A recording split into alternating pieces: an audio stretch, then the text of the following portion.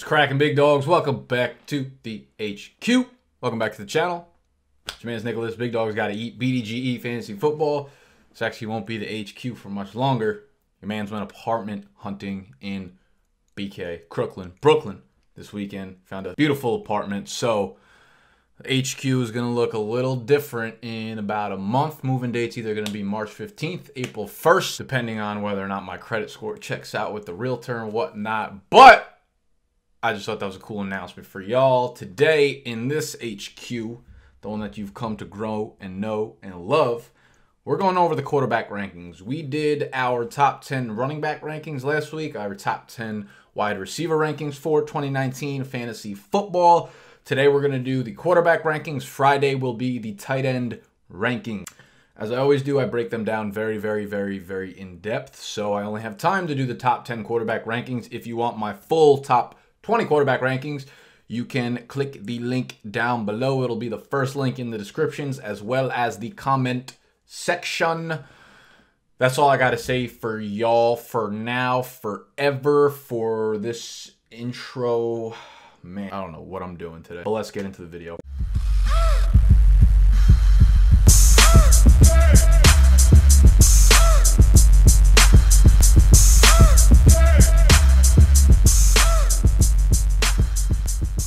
All right, when we talk about quarterbacks, man, here's the thing. It's time to make quarterbacks great again. What's the what would be this the hat for that? MQG. Wait, MQ make America. Oh, it'd be MG. That doesn't even make no fucking sense. Whatever. It's time to make quarterbacks important in fantasy again, guys. It's it, if you're not playing in super flex leagues. Last year was the first league. The first time I went heavy. I played a super flex league in 2017. Last year, almost all of my fantasy leagues turned into super flex leagues. And super flex opens up a flex spot in which you could play an additional quarterback. And if you have a super flex league, you are 99.9% of the time playing a second quarterback. So it's basically a two quarterback league. Yo, I'm really, really, really sick of the whole like analysis of just late round quarterback. It makes like quarterbacks are so important in real football, in real NFL, and it should be the same in fantasy. At least them having some sort of value is what we should be going to. And I'm telling you, once you go towards Superflex, you never go back. It's like when you finally move from standard to half PPR, even a full PPR. Uh, you know, it, it's the best thing you can do for your league. If I had to give an analogy, it's kind of like the first time you you slipped your fingers down your girl's pants. You know what I mean? Like you're nervous. You're not really sure what to do. You're not sure about the best strategy. Do you go with one?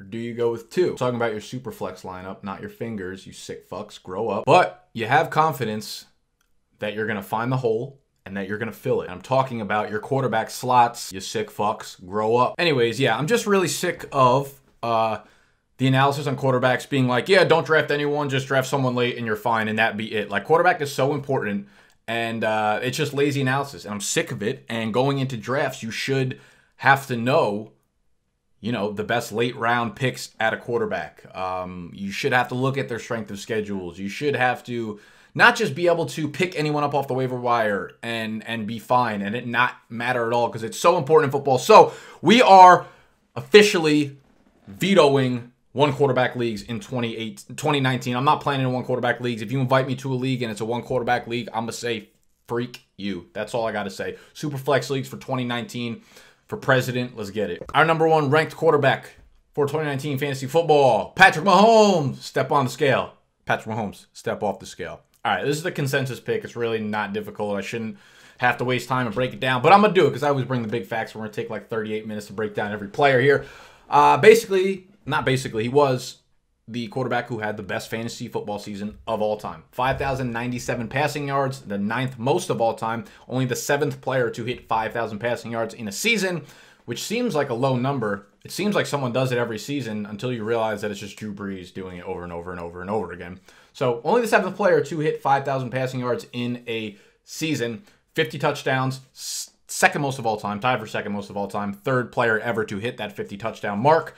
Brady was 30 when he hit 50 touchdowns. Manning, what Peyton Manning was 37 when he hit 50 touchdowns. Mahomes was 23 years old last year.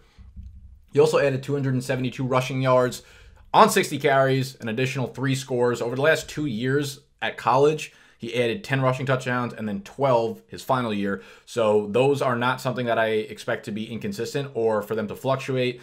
He is going to be, I would say three is probably his floor in terms of rushing touchdowns on a year over year basis um, in fantasy going forward. So that's always, you know, great to have. Um, and, and that's what made him, that's what made him have the best fantasy football season of all time not only from the quarterback position, but the most fantasy points ever scored. He had 272 yards, three scores. Peyton Manning, the year he threw for 55 touchdowns, had negative 31 rushing yards on 32 attempts. That was in 2013.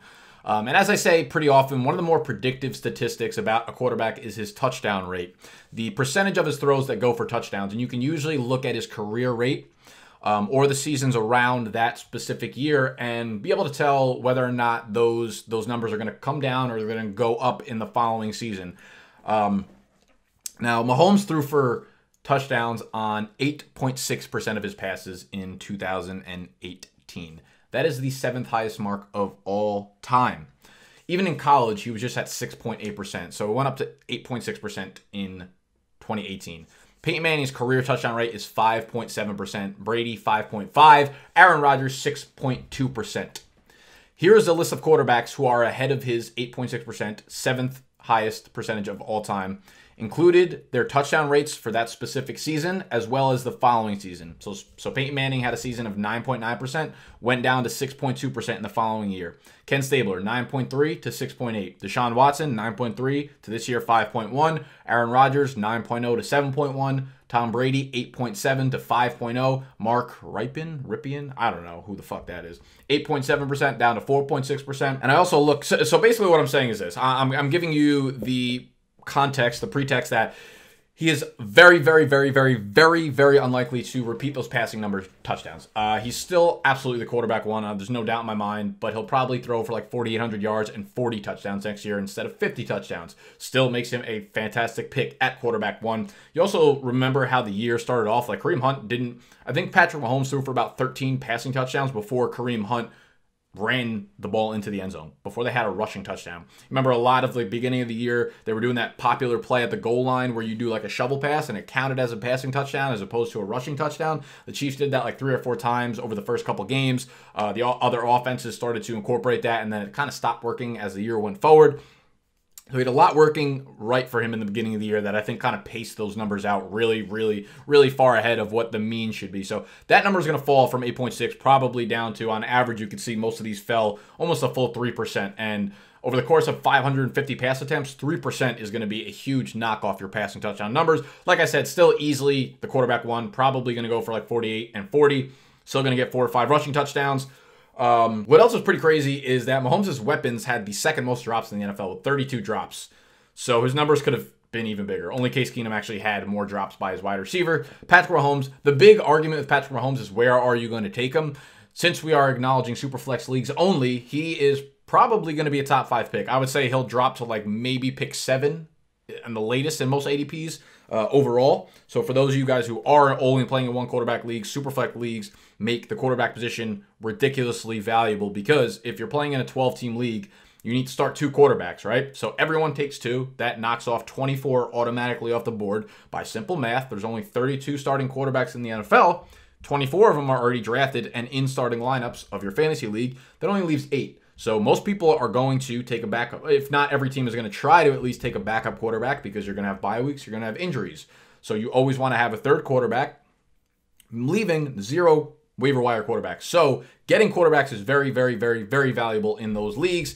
Uh, in one quarterback leagues, I'm still not touching him before round four. You could say what you want. Yeah, you take him in the fucking first round, second round. It's it, it, it's wrong. It's wrong. The mathematics tell you that even Patrick Mahomes, best fantasy quarterback of all time, still only averaged about six points more per game than the quarterback two. Six points more per game. There's no reason to take him over the next quarterback when the running back one compared to the running back seven is averaging like nine points more per game.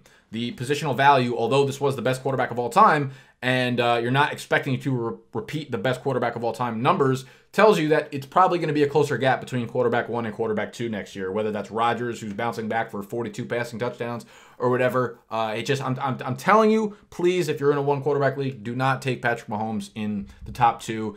I say not the top three rounds. The fourth round is when I would start looking at him. Quarterback number two. Aaron Rodgers, Green Bay Packers. A Rod had his worst fantasy season ever in 2018. He threw for only 4,442 yards, 25 to 2 touchdown interception ratio. I think that's something that you guys need to understand. He still had a 25 to 2 touchdown interception ratio. Uh, added 269 rushing yards on the ground, an additional two scores. The problem was that he was going very, very, very early in drafts, and this was the reason why you feel like you kind of got gypped as an Aaron Rodgers owner. He was a first rounder in almost all of the Superflex leagues that I participated in. I think the, the farthest he went down was possibly like an early second round pick. He finished as QB7 overall, QB9 in fantasy points per game, which is not good ROI if you're drafting him that early, obviously. He finished with fewer than 20 fantasy points in 11 of his 16 games, which is extremely uncharacteristic of a guy like Aaron Rodgers, who's usually hitting 20 fantasy points weekly. Like that's usually his floor during his peak fantasy years. I think it was a mix of a lot of things. One of them was that leg injury that he suffered kind of in the beginning of the year. Um, that like you know that that wasn't letting him move around the pocket too effectively, and that's part of his game. He's not someone who scrambles that much, but he's very good at eluding pressure, and that's something that um, usually boosts his statistics. And that was something that kind of held him back. And obviously that is uh, that plays into his his outlook, right? And there's also the, the dysfunction between Rodgers and Mike McCarthy at head coach.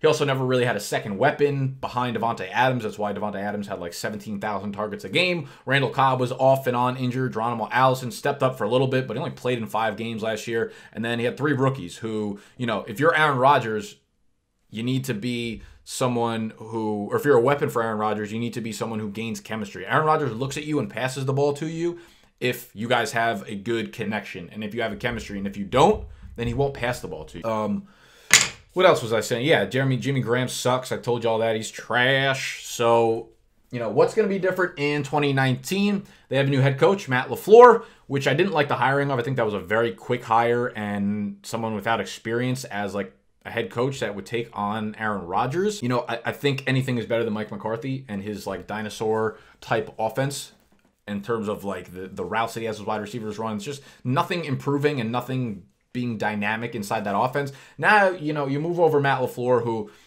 tough to say what he's done because he worked with Matt Ryan during his MVP campaign. He worked with Sean McVay in LA in 2017 with Jared Goff.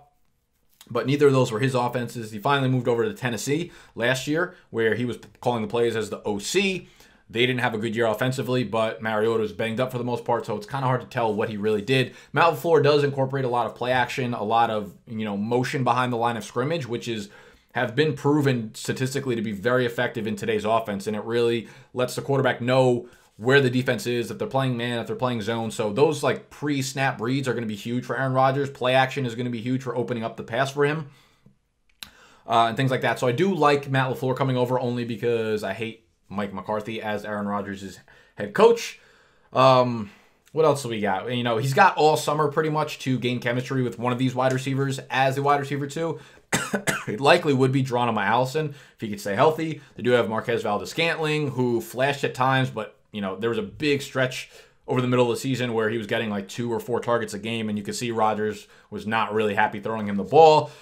I like Equanimeous St. Brown. Um, I like Equanimeous St. Brown as the guy to emerge. He's an athletic guy, and now that he's been in the offense for a year, he made a bunch of big plays last year. You know, he never showed consistency at, at producing at a high level, but I think, you know, a, uh, a year with Aaron Rodgers and this full offseason to kind of acquaint himself into the offense without Randall Cobb because he's going to be a free agent, he's going to be gone. Um, you know, I think he's someone to just keep an eye on. If they can emerge as someone with a, a wide receiver two spot, it could be nice for um, it could be nice for Aaron Rodgers' fantasy outlook. um, and, and, you look at like Andrew Luck, who was quarterback three on this list. He, you know, one of the big things, of course, was his offensive line. Green Bay's offensive line actually graded out as the number one pass blocking line per Pro Football Focus, which is a little bit questionable considering they were 21st ranked per Football Outsiders and they let up the third most sacks in the NFL. So, I mean, it could be because his wide receivers couldn't get open and Aaron Rodgers didn't want to force it. Um, he didn't have a lot of weapons, so therefore he held on to the ball, and that's what led to the high number of sacks. But I don't know. That's uh, it's a weird discrepancy between being the first ranked pass blocking line and the 21st. Pro Football Focus, Football Outsiders. So uh, if there are any Green Bay fans out there, what some of my favorite comments I get on my YouTube channel are from fans of the teams. Right? If I'm breaking down certain players and there there are people who are fans of that specific team, they are people who obviously watch for the most part, watched like all 16 games. So they have a pretty good view or they have a different angle viewpoint of the analysis that I bring. So if you are a Green Bay fan or if you're a fan of any of the players, the teams of the players that I break down and you have a good viewpoint or you know, an opinion on something that I say and why that happened, please comment that down below. So if you're a Packers fan, I would love to know what your take on the offensive line was because being graded as the first overall line per PFF is something I feel like should have gotten a little bit more recognized, and I feel like they were not that good. So let me know what you thought of the offensive line. If they were that good, then great. That's that's great analysis for Aaron Rodgers, and that should be you know huge for him. So please do that. And uh, really, at the end of the day, he's Aaron Rodgers, so I'm not going to put him anywhere past QB two. At worst, I could see you putting him at QB three behind Andrew Luck of the Colts. Finished the year 2018 with 4,593 passing yards, 39 touchdowns, 15 interceptions. Oddly enough, he had a career low 148 rushing yards and zero touchdowns. In the four other NFL seasons that he had been the full starter for, for the full year, he added 309 rushing yards on average, three and a half rushing touchdowns. So 148 this year, zero scores. On average, 309, three and a half scores. Maybe that had to do with him having shitty offensive lines over the previous years and him having to scramble and run more who knows? Uh, those rushing numbers aren't really predictable for a quarterback for the most part, but I thought it was worth noting in my humble ass opinion. I I M H A O. Uh, he started off the year slow, but once he got hot, there was really no stopping Andrew Luck and this Colts offense, right? Starting in week four, Luck had a streak where he threw for three or more touchdown passes in eight straight games. You know, Aaron Rodgers, like I said before, had fewer than 20 fantasy points in 11 of 16 games. Luck threw for 20 fantasy points in those eight straight games, which is is crazy. And like I said, the big story here, of course, was that offensive line. Man, Chris Ballard of the in the in the office there has really been fucking whipping in the kitchen, making sure this personnel, these rosters in Indianapolis, are up to par with the talent of Andrew Luck, and they finally got it. That's what happened in 2018, man. They were the best pass blocking line in the NFL per Football Outsiders and allowed a league low 18 sacks basically just wasn't touched over the second half of the year. So that makes more sense. Aaron Rodgers, that Green Bay line ranked first per PFF and were sacked the third most in the NFL. No, they were 21st in Football Outsiders, but the Colts were number one per Football Outsiders, league low 18 sacks. That that math adds up a little bit more. He did slow down a little bit towards the end of the year and didn't put up as many fantasy points. The Colts opted to kind of ride their ground game and ride Marlon Mack down the stretch, which can be a concern, I guess, um, from Andrew Luck's standpoint, but I don't want to get too into the numbers and start getting too granular to the point where you're just overlooking the situation that Luck has elite arm talent and arm strength behind an elite offensive line. Um, you know, and, and and the thing is, like, he put up some of his best career numbers from an efficiency standpoint, not necessarily from a volume standpoint. And he did this with almost nothing to work with, right? He had T.Y. Hilton, who is a stud, of course, and he's his wide receiver one, has been for a while.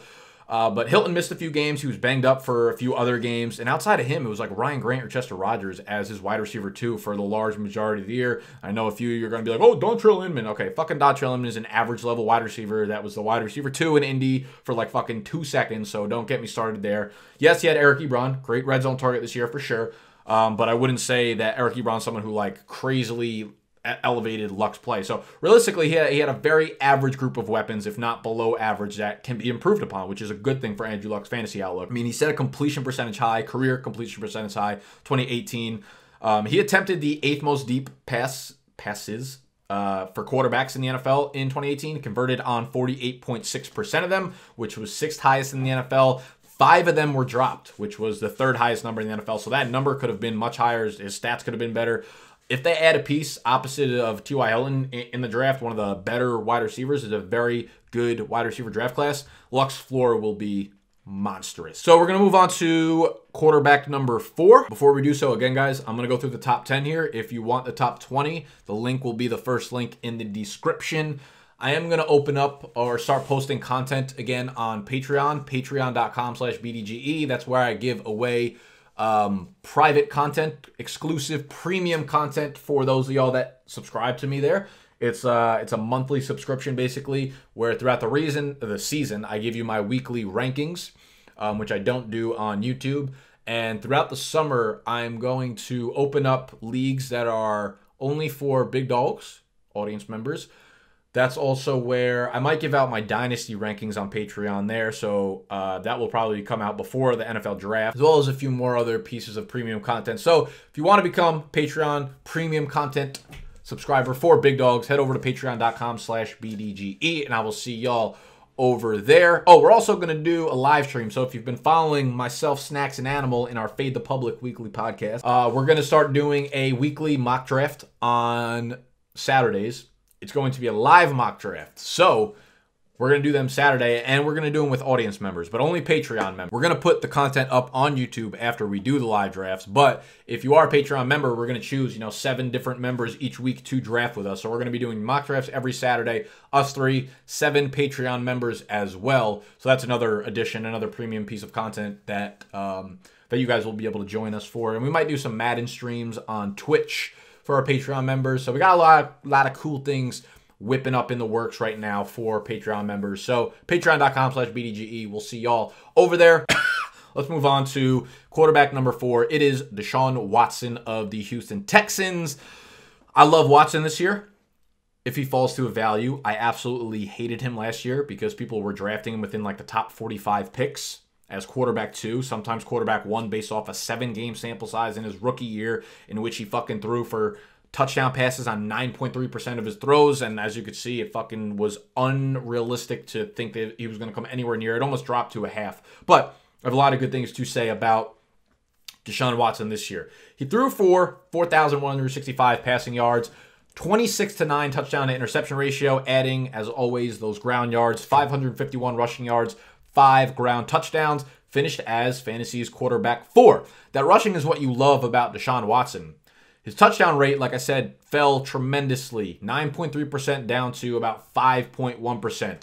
That's why everyone is yelling regression, regression, regression. There's no way that he could do it again in 2018, and he didn't.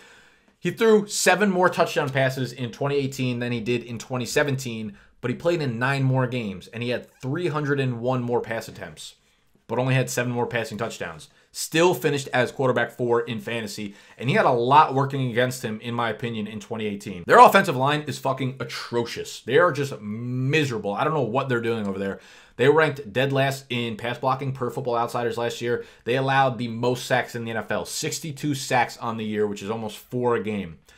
Um, but Watson himself, as a passer, became a much better quarterback in 2018, right? Just from a passing perspective, I'm looking at. He's always going to give you those ground yards, which is fantastic, especially if you're not playing in a six point passing touchdown league. He raised his completion percentage from 61.8% to 68.3% from his rookie year to his sophomore year. But more importantly, his adjusted completion percentage, which is a stat that you can get from PFF. If you if you want to uh, sign up for one of the PFF packages, they're awesome. I highly highly recommend them. They do an elite package and an edge package. The edge package I believe is thirty dollars for the entire year. The elite is maybe like one seventy for the entire year. Um, it comes with a lot more granular stats and stuff that you probably don't need. If you want either of them, I have a link down below along with a promo code that will get you like $5 off the $30 package. It gets you all their player grades. It gets you all these like in-depth stats that I think is really cool, very worth it. I barely get a kickback on any of these, so it's not worth me plugging other than I think it's awesome for you guys. But that will be linked down below in the section that says promo codes or some shit. Um, his adjusted completion percentage, which is a stat by PFF, which accounts for throwaways and spiked balls and all that extra shit that doesn't really matter, that doesn't is not predictive in how well a quarterback throws the ball, takes those out. Watson was at 65.6% in 2017. That went up to 76.1% in 2018. So it was a full 10.5% increase in adjusted completion percentage, which tells you he got a lot better as a passer, a lot more accurate. He was just better with his throws, and he was far less reckless in his second year as well. In 2017, he threw a deep pass on 20% of his pass attempts, which is a crazy number.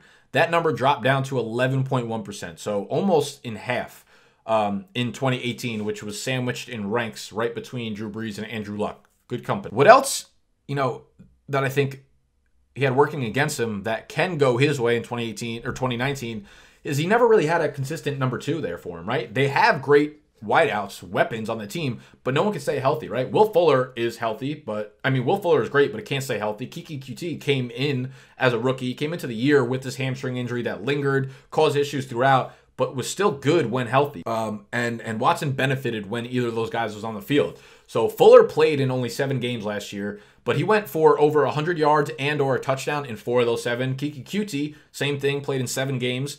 Um, and went over 100 yards and or a touchdown in three of them. So while they were on the field, they were great wide receiver two options. If he has all three of those guys, D Hop, Coutee, and Will Fuller on the field, he's going to have a great arsenal of weapons to work with next year. Demaryius Thomas sucks. I, I don't want to hear anything about him. There, I don't think they're going to re-sign him. I don't. I'm not even sure what his contract status is. I'm just assuming that he's going to be off the team. Um, he's literally horrible. He had one good game last year and was literally just to piss me off in fantasy because I needed him to score less than like 24 points on Monday Night Football to win my game. And of course, for the first time since like 2014, he went over 24 fantasy points. Um, so you know what? Fuck Demaryius Thomas. That's all I got to say about that.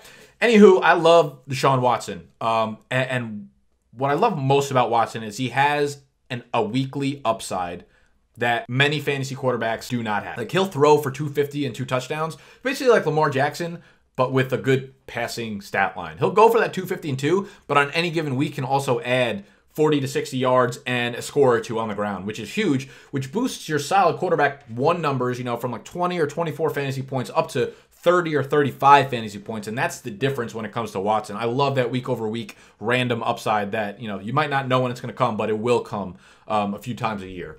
So Watson's four. Number five, and this is probably going to be a little bit of a surprise, and I hope I get pushback on this because I like to fade the public. But for those y'all that are smart, you'll you'll understand why I put him here. Jameis Winston, my quarterback five for 2019 fantasy football, Tampa Bay Bucks quarterback. You can't talk to me about Winston. I'm telling you, you can't fade me off Winston. At least not logically speaking. He was my absolute favorite late round quarterback going into 2018 fantasy football, but unfortunately, you know, he had that weird fucking incident in the Uber where he got suspended for three games. Um, so that like killed anything that you can get excited about for 2018. But the sharp players will be with me on this analysis for 2019, and I think that will eventually push Winston's ADP into the top 10. Um, right now, he's literally quarterback 19 in fantasy football calculator, which I think their ADP is pretty fucking terrible right now. But will put he'll get pushed up eventually.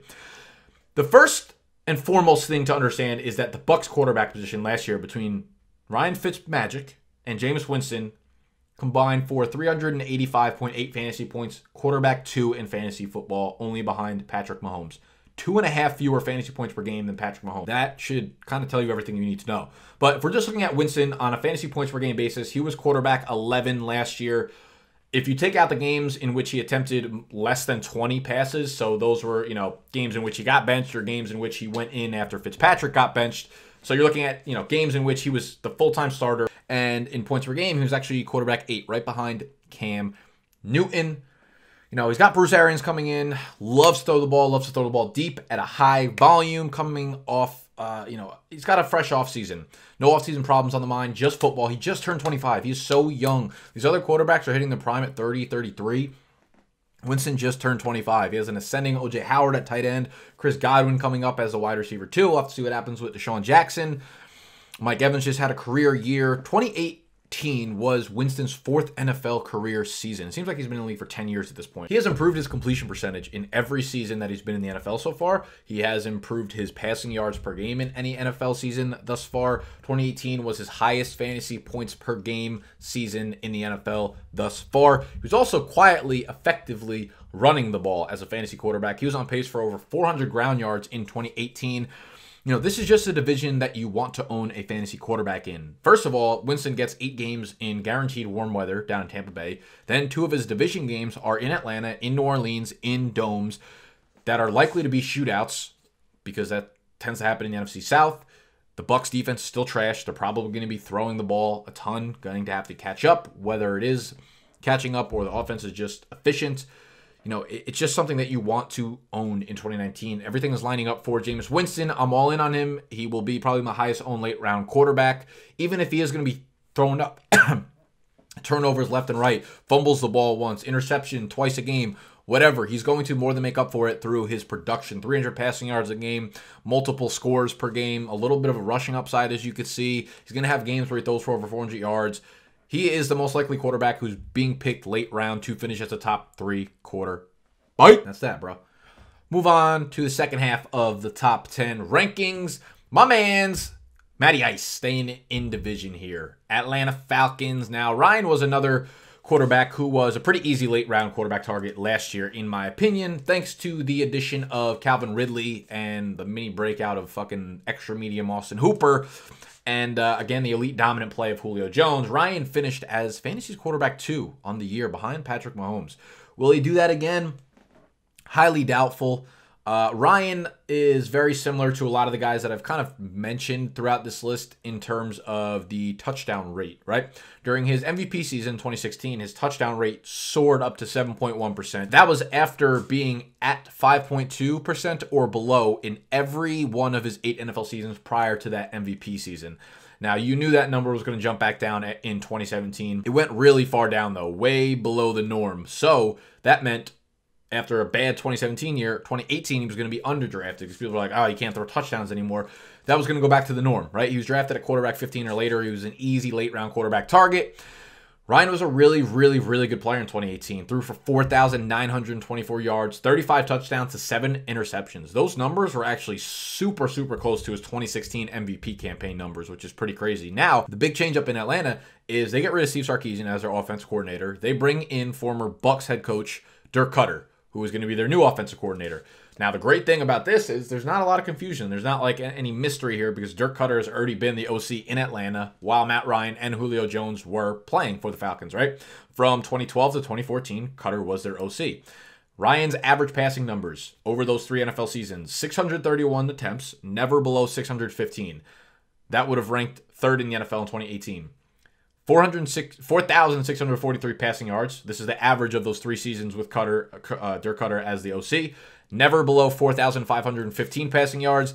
Hypothetical NFL rank in 2018 would have been quarterback four. 29 passing touchdowns per year on average, never below 26th. NFL rank of 10th among quarterbacks in 2018. His fantasy finishes under Dirk Koetter quarterback seven, quarterback 12, quarterback seven. You have a QB1 year over year with a pretty decent upside, pretty decent floor. Having these new weapons like Calvin Ridley, Austin Hooper, make him a great floor quarterback as well in fantasy. He's always been that, but now, you know, he has a better combination of floor and ceiling. Like I often say, when you're in the middle of the pack, right? When you're when your talent as a quarterback is not elite or not horrible, you're probably only going to be as good as your your talent around you. So the um, so the weapons, the wide receivers, the tight ends, the pass catchers out of the backfield, and your offensive line. So uh, Ryan kind of falls into that that synopsis. So he's going to be a better late round quarterback because of his weapons than a lot of the other ones that are kind of around him. Now, I'd be shocked if he finished inside of the top three again at the position in terms of fantasy because that's just not who he is. Elite fantasy production year over year. He doesn't do that. But the other thing I'm, I'm, I'm just a tiny bit concerned about is his fourth quarter numbers. Now, I went kind of in depth on this in the wide receiver rankings video from last week when I talked about Julio, because Julio put up a huge portion of his production in garbage time. So did Matt Ryan, right? They lost all their defensive players in the first couple weeks of the season, started letting up 40 points a game to all these opposing offenses. In turn, Matt Ryan and Julio were blowing up in the fourth quarter in garbage time, trying to catch up and just throwing up bombs and shit.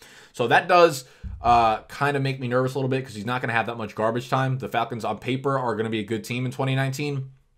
But don't look too hard at it. He's a good floor play with good weapons, great home field to play at, you know, in the dome in Atlanta. So, like Matt Ryan is quarterback six. We're going to get a little more in depth with quarterback seven. Third straight NFC South quarterback. That's Drew Brees, QB seven. That's actually kind of funny because we have four quarterbacks in a row, all NFC South. We had Winston, quarterback five, Matt Ryan, quarterback six, Drew Brees, quarterback seven. Now, I'm not even sure I like Brees here, to be honest with you. And I feel like I'm probably going to drop him lower eventually. I feel weird dropping. That's probably why. He's not someone that I want to draft at quarterback seven, uh, unless he really fell. So he's not a value necessarily at quarterback seven, but depending on where quarterback seven falls in your fantasy draft, that's going to depend on whether or not I like Brees there. Quarter, uh, 2018 was a remarkable year for Brees from like an efficiency standpoint, right? Completion percentage was great, especially his adjusting completion percentage, 32 to 5 touchdown to interception ratio. but he threw his fewest pass attempts, 489 since 2004. Uh, when he was back in San Diego, he failed to hit the 4,000 yard passing mark for the first time as a quarterback in New Orleans. Um, you know, and if you're looking at these numbers and saying, hmm, doesn't that mean positive regression? And this is, you know, I talked about this again with Michael Thomas's numbers in the wide receiver rankings video. I would say no because we look at again the career touchdown rate. He threw for a touchdown on 6.5% of his passes last year. 32 touchdowns on just 489 attempts. His career rate 5.3% up to 6.5%. In New Orleans it's been 5.5%. So um, you know, it, has been much lower than that number, the 6.5 he threw for in 2018 over the last five years. So I believe that's going to drop down. He also ranked 19th in deep ball attempts per player profiler last year. The other thing that scares me is this his home and away splits, man. Horrible, right? These are monster splits 31 points per game at home versus 19.8 on the road. And these have been pretty consistent throughout Brees's career. And I think they tailed off a little bit. He got more even over the last couple years, which kind of made us as fantasy players let our guard down a little bit and think, nah, Brees is good all the time. Came back and uh, no, he played way better at home. And that makes sense playing inside the dome as opposed to on the road, maybe in cold weather, whatever. So Sure, this makes him a great play at home. This makes him a great streaming quarterback because you know which games to play him, which games not to play him. Uh, but you know that I think that takes him out of contention for being an elite top five fantasy quarterback, which is what you've probably expected. Also, this other split is concerning. If you look at him versus top 12 defenses on the year versus, you know, the bottom, whatever that is, 19, 8, uh, 20 defenses, 16 and a half points per game fantasy against top 12 defenses versus almost 30 versus the bottom 20 defenses. Now, it's not going to be a huge issue for Brees, given that you know you don't play top twelve fantasy defenses weekly like all the time, especially not in that uh, that division. But I think it just speaks to the larger picture of Brees that He's not this amazing fantasy quarterback anymore, and he's not someone that you could just plug in your lineup and feel great about him all the time. If it's a tough defensive matchup or if he's on the road, you're not going to feel that good. And that's kind of the reason that I said, you know, I'm not that comfortable with him as QB7 anymore. He had four games during the fantasy year that he scored fewer than nine fantasy points. And those are, you know, those are weak losing games if you have him as your quarterback. Now, he had some really big games, right? He had those he had five individual games with more than 28 fantasy points, which are huge games, and those will probably help you win a week. But I dove a little bit deeper into those games, right? And I wanted to break down, you know, I want to put this stuff into context, not just say, oh, he's boomer bust or oh, he's this or that. Week one, that was that ridiculous shootout game against Tampa Bay where Fitzpatrick and him both threw for like 9,000 yards and Brees scored 29.6 fantasy points. And we came to find out that Tampa Bay had one of the worst passing defenses in the entire NFL. Miserable. Week three, Brees put up 40 fantasy points. That was against Atlanta. Again, the beginning of the year, Atlanta lost everybody on defense, and they were giving up 40 fantasy points a game to opponents. Um, so that was an explanation for that. 31.4 fantasy points for Brees against the Rams in I think it was week eight or week nine. They were they didn't have Aqib Talib, and throughout that period, they were giving up a ridiculous amount of points as well to opposing fantasy quarterbacks. He had uh, another one of his big games of more than 28 fantasy points at Cincinnati, who by that point in the season had completely fallen apart. They gave up the third most fantasy points to quarterbacks on the year. And then the last game in which he put up more than 28 fantasy points was against Philadelphia, who literally did not have a secondary throughout the regular season last year. So it's like, yeah, five great games, sure. And it might seem like I'm stretching it or like really nitpicking here. But if you look, if you put that into context, every game was like against a horrible defense. And I'm not sure Brees if you know if he doesn't have all those things break right, where all these injuries occurred to these teams he's playing against, or they're like you know ridiculous shootouts. I, I don't think he gets. I don't think he's that elite fantasy quarterback really anymore. And I've been banging this drum for like two years now. The fact that New Orleans has this very short window to win the Super Bowl, and who knows, they might have pulled it off if that whole fucking PI call happened this year. Uh, their game plan is to keep Brees on his feet, healthy, dump the ball off very quickly to slot receivers, to running backs, run the ball a lot. Just keep Brees healthy. The other thing I would say is, you know, I was I was looking at like why why do we think Kamara, why do we think Michael Thomas fell off very heavily, you know, over the, as the year went on? one of the things that popped into my head was maybe this, like in 2017 New Orleans came into the year as one of the worst defenses. They were like a laughing stock in the NFL, right? And they by the end of the year they were very good. Now that happened in 2018 as well. Remember that the first game, like I said, was against Tampa Bay. They let up a shitload of points. New Orleans' defense looked really bad in the beginning of the year. And then, just like the Patriots, how they usually get better and better, which usually happens when you have a good coach. So that makes sense, right? Bill Belichick gets his team in line. Sean Payton does the same thing. If you have a team that improves, right? New Orleans defense got much better as the year progressed. And guess what happens? When your defense plays better, they don't give up as many points. When you don't give up as many points, you don't need your offense to score as many points. So that's another factor. New Orleans, they their defense typically starts off slow, gets better. As they get better, they're not going to need Brees to throw the ball as much. I just think there's a lot working against Brees, and I, I don't love him in 2019. Quarterback eight, Cam Newton. He's a make or break player this year in fantasy, in my opinion. We obviously know his upside when he's on the field. We've seen him be a top three, top five fantasy quarterback plenty of times in his career so far. But this shoulder scares the shit out of me. I likely won't own Cam this year unless he really drops in drafts, which he probably won't because the name value, right? Cam, it's Cam Newton. People aren't going to let him slip too far in drafts. There's not much to say. We all know, like I said, what his fantasy product is when he's healthy, but he's having his second serious shoulder surgery right now. Apparently, this this shoulder surgery is not as significant or as serious as originally feared. Um, and he's having it a lot earlier in the season, in the offseason, than he had in the previous surgery, right? Last year, last year was uh, they rushed him into the season. By the time he got into the regular season and he wasn't even fully healthy yet, and that, you know, they fucked him, right? He was he, way less than 100% starting the year. He barely threw the ball in the preseason. They set him up for failure. That was 100% on Carolina, the front office, the coaching staff. Stupid move by the franchise. Uh, that was easy to see coming. I will be passing on Cam uh, as a top five price if that is what he is going to be in fantasy this year. I'm not really sure. Uh, but, you know, QB8, he gives you a good upside and uh, floor combination if he's on the field to warrant this. So I'm probably backing away from most players who are injury. I'm scared of them being injured, I guess. But you know, y'all know uh, what Cam can can offer. After Cam, we have the last two guys: quarterback nine, quarterback ten. and I will ask guys if you are enjoying the video. I obviously put a lot of time, work, research, analysis into these videos. So uh, one way of just showing me you appreciate that is by scrolling down a little bit. If you're on YouTube, it's like a 0.2 second scroll. Hit that thumbs up button. Lets YouTube know y'all like my video and it'll show it to a bunch of people. Um, subscribe to the channel if you're new because we're to be doing breakdowns like this, big facts only, this kind of shit all off season and it will certainly help you uh, draft better. It'll help you win your chip, hopefully, in 2019. So, thumbs up down below. Subscribe to the channel if you're new. Drop a comment. That works with the YouTube algorithm. I don't know. It doesn't even matter what the fuck you got to comment. Right, yeah. Right, fucking QB ranks, Shaba Shaba ranks, baby.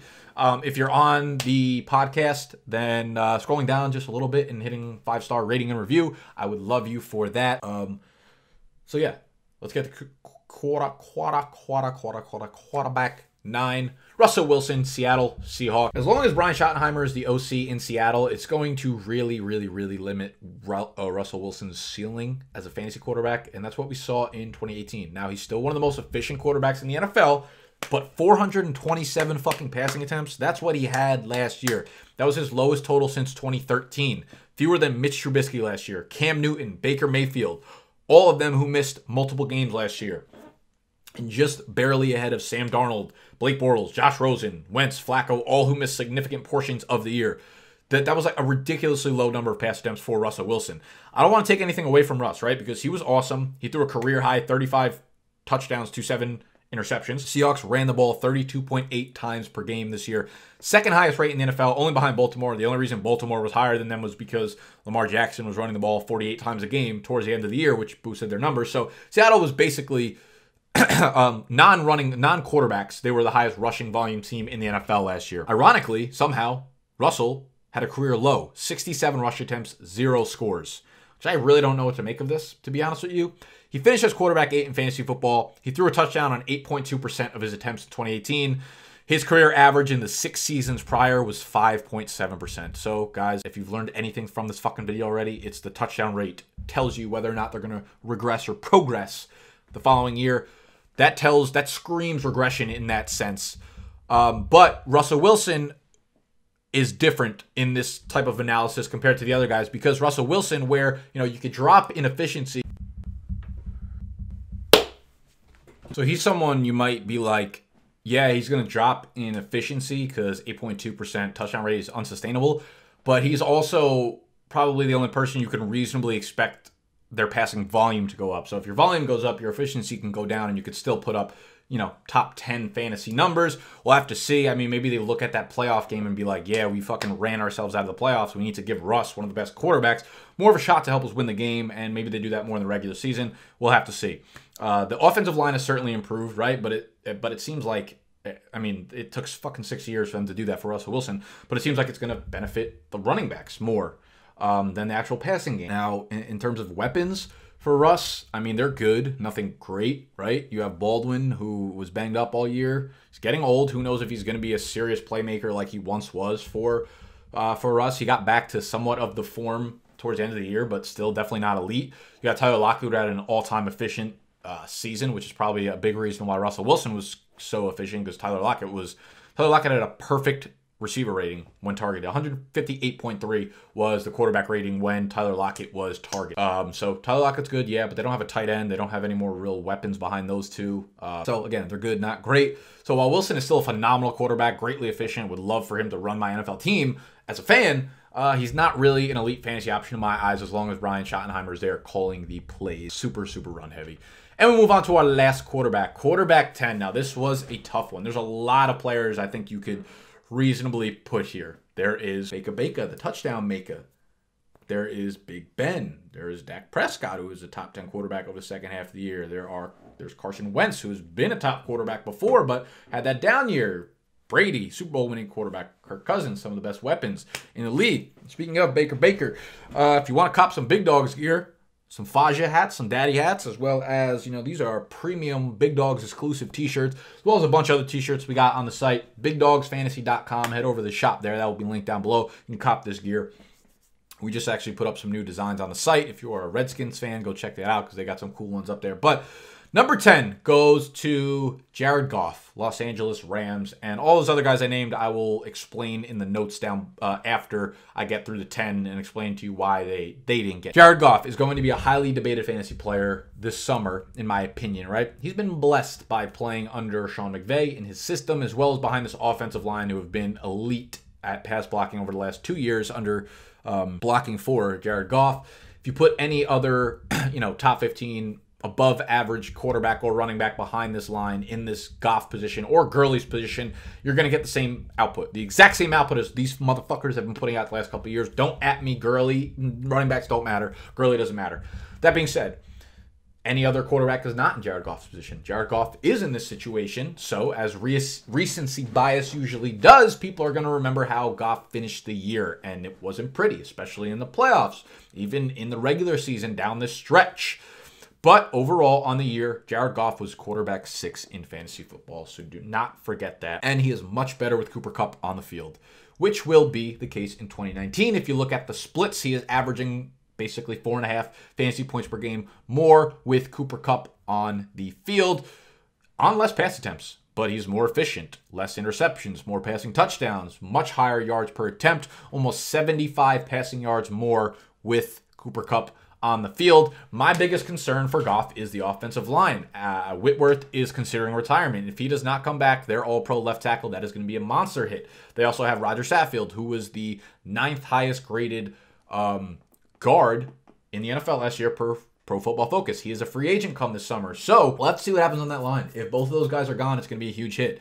Jared Goff, this is a stat from uh, a podcast I listened to last week by Fantasy Pros. It was Mike Tagliere and Bobby, I don't know what Bobby's last name is, but Bobby Fantasy Pros.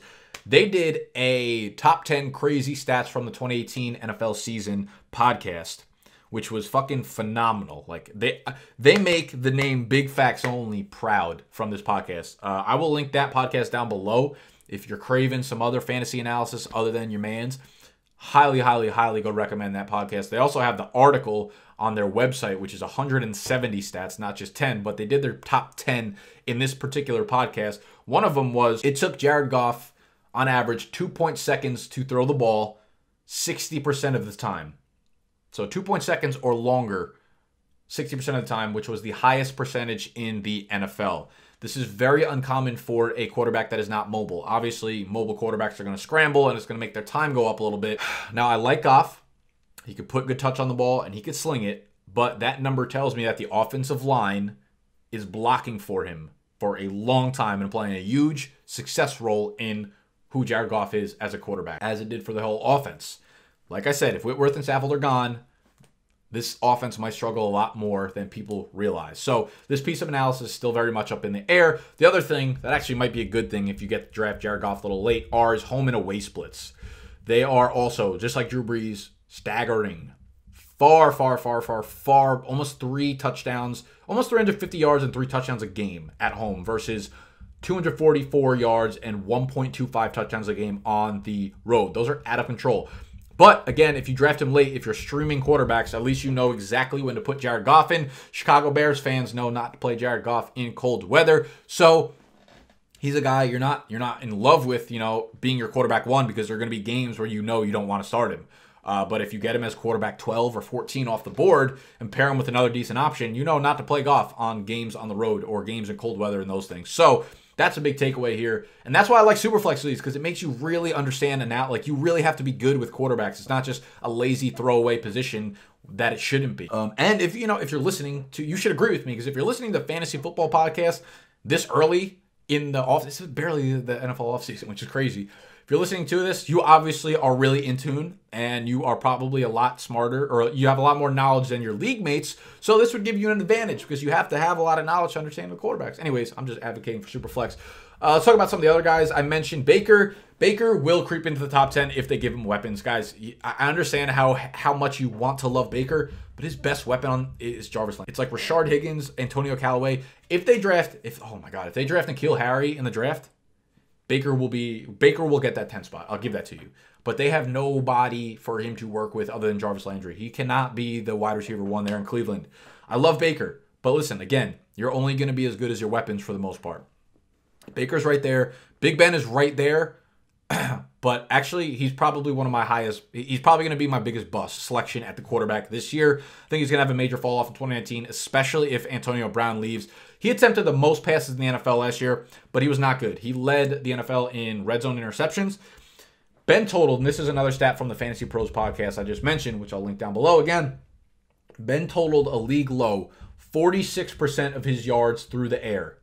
That means 40, that means 54% of his passing yardage total on the year came after the catch. 54% of his his yards came from the wide receiver tight end making plays. That makes sense. Think about Antonio Brown, Juju Smith Schuster, Vance McDonald with stiff arming motherfuckers for 80 yard runs and shit. So yeah, uh, that's Big Ben is is going to regress in that category. He was not efficient. If you were a Steelers fan, if you were watching any Big Ben, he did not look good as a quarterback last year. If Antonio Brown is gone, it's I I just think it could be a shit show there in Pittsburgh. So um, it's going to be interesting to see how that shakes out that is the the lot, the list for the top 10. So I hope you guys enjoy this. If you did, make sure you hit that thumbs up, up button, please. It lets me know that you appreciate the work I put in for this. Rating and review and subscribe on the podcast would be phenomenal. Um, subscribe to the YouTube channel if you are new. Friday will be our top 10 tight end ranking, so stay tuned for that one. That'll be good. Um, yeah, that's really it, y'all. I don't know. I love y'all. Thank you for sticking around this long if you did, and I'll see y'all uh, Thursday, I think. I don't know. Bye.